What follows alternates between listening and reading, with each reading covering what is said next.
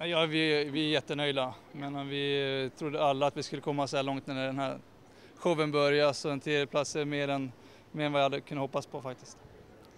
Ja, samma här. Det känns bara, nu känns det mest sorgligt att det allt är slut liksom. Att lämna Lasse. Det enda tråkiga som känns i finalen är att vi inte får göra vårt tredje Ja, program som vi tycker var det absolut det roligaste programmet vi hade under alla de här veckorna. Så det är mest sorgligt tycker jag. Om ni ska beskriva hur mycket ni har kämpat under de här fyra månaderna som eh, träningen har pågått, vad, vad skulle ni säga då? Att det bara blivit mer och mer för varje vecka i stort sett. Man har satsat mer och mer för varje vecka. Så varje vecka blir bara tuffare och tuffare. Så nu ska det faktiskt bli väldigt skönt att kunna få pusta ut och bara rent mentalt ladda, Kurera sig lite. ja, kurera sig, ladda upp batterierna Ja. lite. Vad säger ni om juryns val? Är ni nöjda eller är det någonting ni hade önskat annorlunda?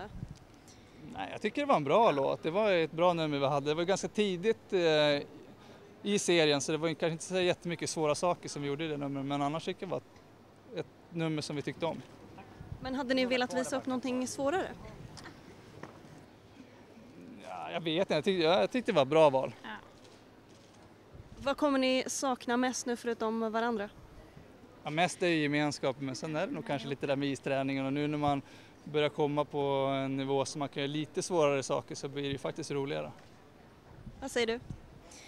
Ja, gemenskapen och självklart den här träningen att få terra Lasse.